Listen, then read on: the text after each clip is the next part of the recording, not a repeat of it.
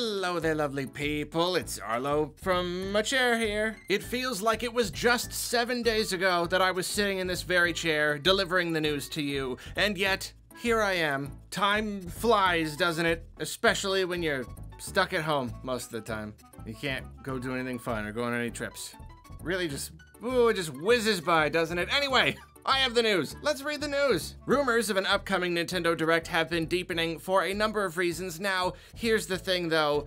If a Direct does get announced for July 20th, that means that you are already aware of it, and me in this video that you're hearing is not aware of it, so that might lead to some awkwardness, but I'm just letting you know, just getting it out there first, so you don't have to go down to the comments and be like, what, does, did he not hear about the direct? We, these take a few days to edit and stuff, so there you go. I'm still gonna talk about all these rumors though, because that's my job, darn it. Nintendo Everything reports that a number of mystery SKUs have appeared in GameStop's database. If this is true, these seem to be placeholders called only available SKU. Of course, GameStop and Best Buy listings are rarely anything to really go by, but it is true that in the past, these kinds of things have often correlated with Nintendo Directs. Sometimes these databases will be updated with this kind of thing when we know that a Direct is coming. They have these placeholders in there so that when the Direct drops and the titles are officially announced, then they can go in and immediately update them to their full name so that people can go and immediately start pre-ordering. So as usual with these kinds of things, could be nothing, could be something, we will just have to wait and see.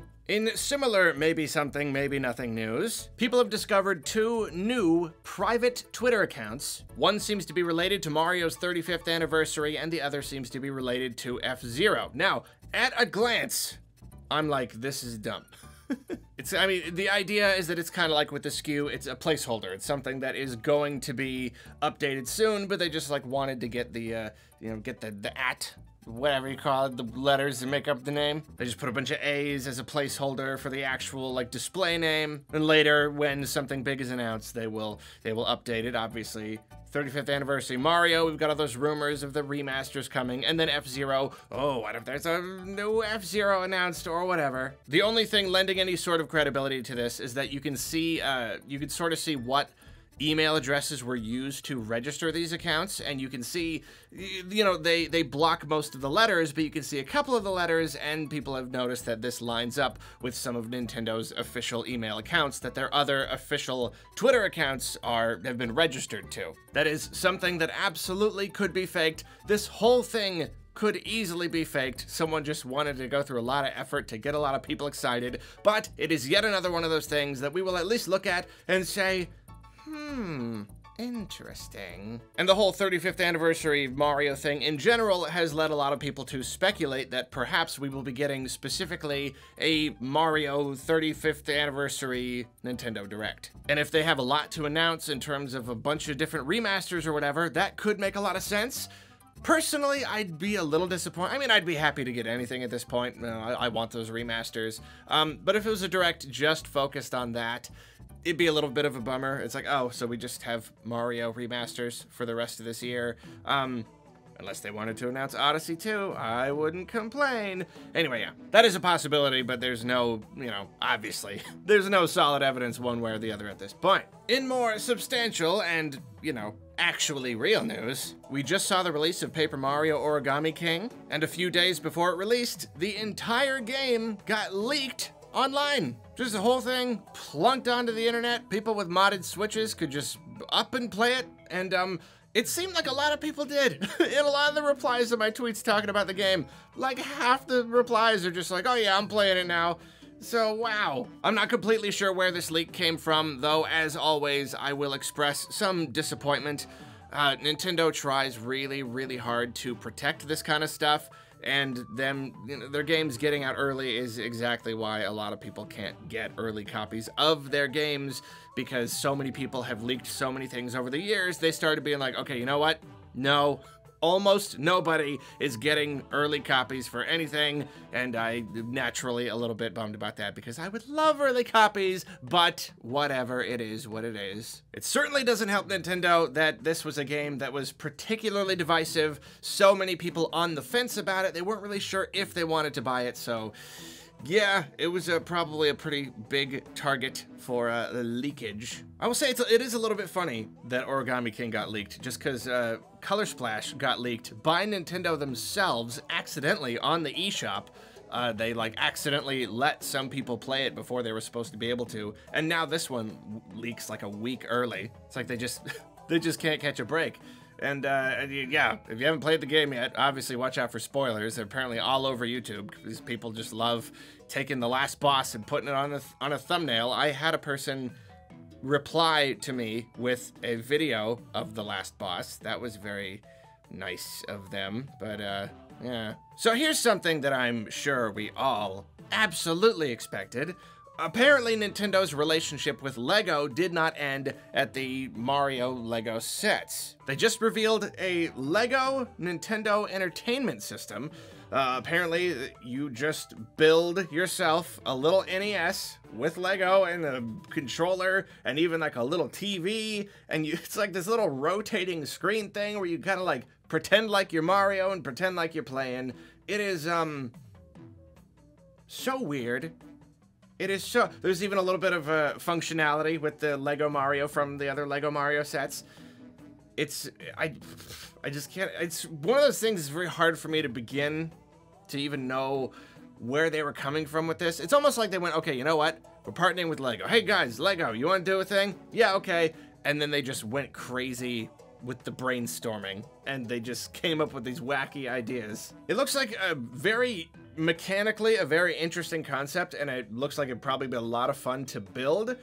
Personally, there are few Nintendo products that just seem less appealing to me. I, it just like the regular little Lego Mario thing because it's like a board game. I might play that, but this thing with the with the TV and the screen, I just it, I cannot. It just does not look fun to me. So that you're like imitating him playing. How long is that gonna last?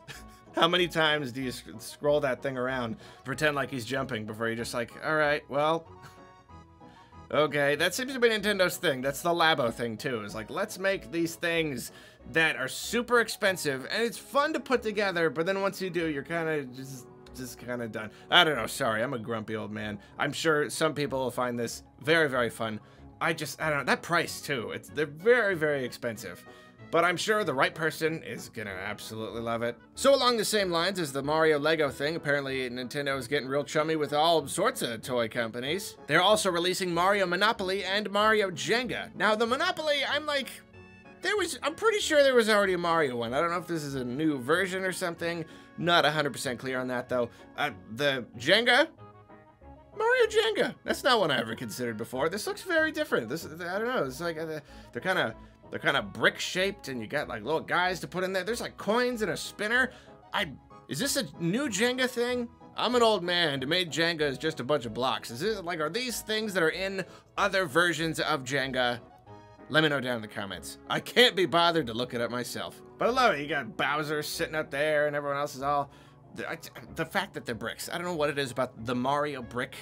I've said that before. Just something about it. It's just very, just very appealing to me. So a few weeks ago, Suda51 popped up in a New Game Plus Expo showcase. The whole thing was this funny little gag where he quote-unquote accidentally showed some No More Heroes 3 footage behind him. Of course, it was very short and it was obscured by him, but this was just his funny little way of just presenting some new footage. I really, really enjoyed this, and now he has taken the joke even further, and I'm actually very sad that I missed it live. Uh, Devolver Digital, I actually talked about this in a previous episode. They're an indie publisher, and they have their own direct style presentation. And apparently, in the credits, Suda51 popped up again to show two seconds of additional No More Heroes 3 footage. I don't know why he was in a Devolver. I, I know he, he loves indies. He's just, he's got this great relationship with indies. So I guess he just wanted to pop up and devolve. There you go. Now other people's directs. You got to watch out for Nintendo News for apparently. And I just have to wonder where else, like, he's set a precedent now. He's popped up twice. Where else are we to see Suda51 pop up and show us a few seconds of No More Heroes 3 footage? Maybe in this video right here? Alright, well, it was worth a shot. So recently, Sakurai revealed the Joker and Hero amiibo, and Nintendo has confirmed solid release dates. In North America, they will be released October 2nd, and basically everywhere else, they'll be coming out a week earlier on September 25th. And I gotta say, they look pretty good. They look, I mean, you know, most of the amiibos look good. Hero looks pretty alright, but he's just kind of standing there. I really love Joker's official art a lot more.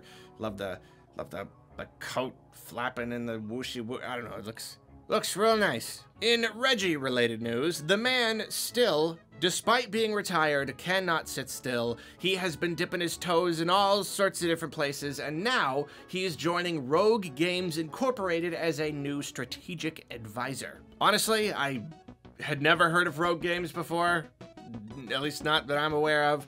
I looked at their website. Apparently, they do a lot of mobile games. I'm not really familiar with any of them, but there you go. You got Reggie on the team. I don't know why he picked these guys out of everybody. Like, is this him just wanting to build up a company? Does he does he roll a dice? Does he pick names out of a hat? Who knows at this point? GameStop made more sense. GameStop is a big giant corporation. Rogue Games Incorporated, though. I don't know, but I could, I, I gotta trust Reggie. I gotta trust Reggie on this one. Bitmap Books will soon be releasing Game Boy, the box art collection. The book is being written by Damien McFerran of Nintendo Life fame and contains box art from Game Boy games. It's a celebration of the best Game Boy box art there is. So if you're interested in that kind of thing, just kind of art and gaming history and all that stuff, Go check it out. Apparently, this is a follow-up to their other book, Super Famicom, the box art collection. Did not know that existed, but now I know that both of these things exist. So there you go. Box art's cool. So recently, the Pokemon Company brought raid battles to Pokemon Go, and now they are bringing them to Pokemon the TCG. Cool thing is, though, this is not, at least yet, in the form of an official product. This is simply a variant that they have created. I no doubt some fans have created similar variants, but now this is an official variant that you can do with your own Pokemon cards that you already have. I really like this kind of thing. It's very much in line with, it. I used to play Magic the Gathering and there were a lot of uh, just fan-made kitchen table kind of variants. You could just, you know, you could make the cards interact in a lot of different cool kind of ways. And so I'm, I'm very much for this kind of thing. It was already a fun idea in the game. So now you can have like a boss Pokemon and bring your cards and try to bring it down. It's fun. This is fun. Though I guess, to be fair, even though there isn't an official product for you to buy, you can go to Pokemon's official site and you can find a digital raid battle assistant, which lets you kind of track what's going on in the battle and helps you keep track of it. So that's pretty cool. So Nintendo has begun offering official Smash style envelopes and invitation letters on the My Nintendo website, available as a reward. You can just make your own special fancy kind of smash invitation it's a very nice little thing though unfortunately it is only available in japan at present so i hope you live in japan or you don't want it I mean, it wouldn't be like that hard to recreate this kind of thing, but you know, it's cool having like the, the official Nintendo one. It's very cute. So Gamescom is coming up. In case you don't know, Gamescom is the largest video game expo in Europe pretty much one of those big giant ones like E3 where all of the biggest major companies all come together and show off new games and all that kind of good stuff. Though it is a little disturbing to learn that Nintendo will not have any kind of presence. Uh, apparently Sony won't either. Sony's been also kind of doing their own weird kind of own thing, but they've also like had a lot to show and they've been do like, doing their own thing, whereas Nintendo is very strange not being on this list.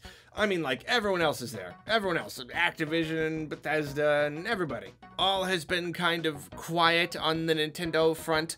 And so uh, that's why this kind of thing is, is extra weird. Obviously, if there's a Nintendo Direct coming up, then that could change a lot of things. It's just strange going into a new console generation and not kind of like fighting to keep your place in the race, you know, fighting to keep yourself relevant. I know overall the Switch isn't really competitive with the other major consoles. They sort of offer different stuff, but at the same time, there is competition going into a holiday season. Kids are going to want one thing or another thing. These are very different products. People can't afford to buy all of the products most of the time. So I'll just say that if Nintendo is confident enough in themselves to skip Gamescom, I certainly hope they have a lot of other cool stuff up their sleeve. I mean, obviously, there's the possibility that they can't and they're still just struggling. We don't know what's going on at Nintendo. Maybe they can't go to Gamescom. I don't know why everyone else would be able to, but they can't.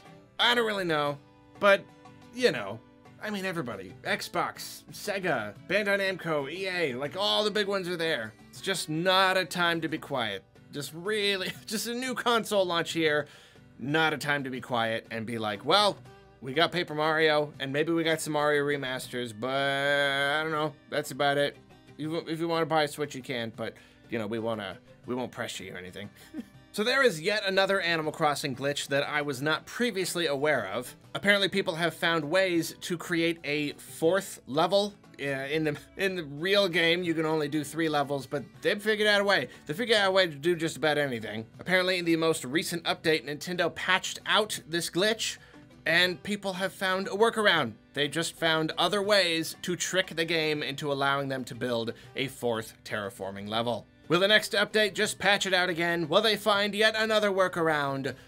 Who can say? That's it. I am done. You are done. We are done delivering and or listening to the news. So I wish you a wonderful day, and I insist that you have a wonderful tomorrow, too. I don't know.